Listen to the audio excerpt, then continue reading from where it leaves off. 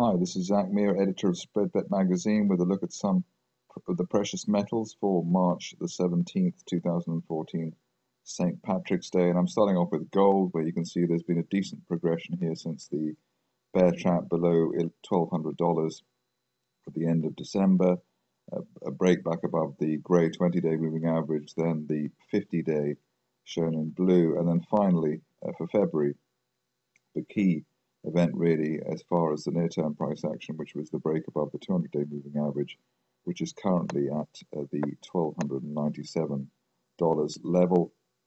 Uh, the progression overall since December within a relatively narrow trend channel. We were looking for a $1,380 target, which has been achieved uh, relatively easily. Uh, I say easily on the basis that there's been no requirement for a retest of the 200-day moving average. And uh, as you can see, most of the price action has been at or above the green 10-day moving average, now at $1,354. Uh, intraday dips towards the 10-day line were the opportunity to go long uh, for February and early March. And uh, since then, we've seen an acceleration, obviously, on the basis of the uh, geopolitical situation in Russia and uh, the Crimea. possibility of a mid-move bull flag consolidation towards $1,350.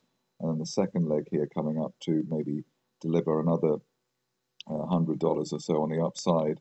Uh, likelihood is that we've got a wide uh, December price channel now up to $1,470.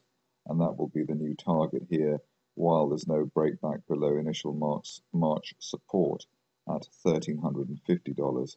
So really in the near term, you'd be looking towards any dips towards 1350 or the 10 day moving average 1354 uh, as a buy opportunity, given that the RSI now is in the overbought territory at 72. But of course, as we know, on the biggest moves uh, in stocks and markets, uh, the RSI becomes secondary to the, to the positive momentum uh, in force, and really we can be overbought for an extended period before any significant uh, breakdown may be seen uh, in the near term moving on to gold, uh, sorry, silver, and uh, we've got this precious metal in a rather um, more sedate uh, type of price action.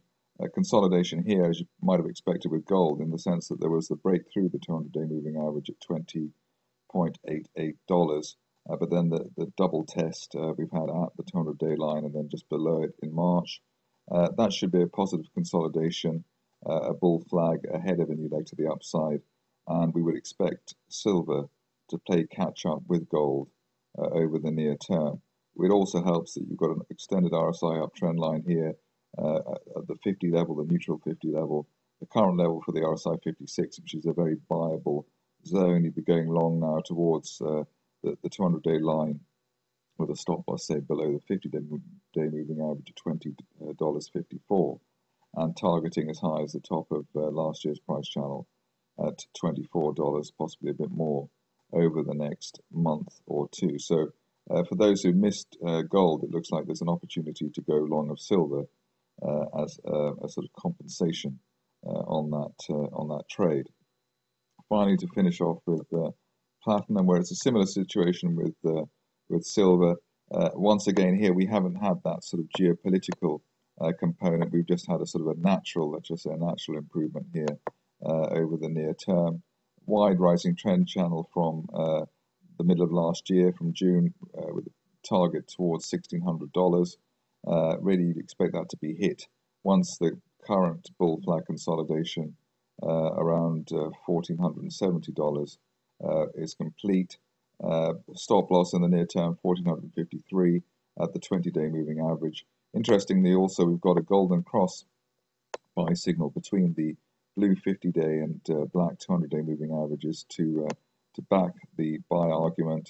And uh, really, if, if you're not uh, uh, you know, if you're not so keen on silver, perhaps platinum makes for an alternative selection here, given that we can see probably more rapid upside here than at the, the in, in its counterpart market. So platinum, an alternative to silver sort of midway between uh, the technical position uh, of gold and silver uh, over the near term. That's it for me. See you again next time.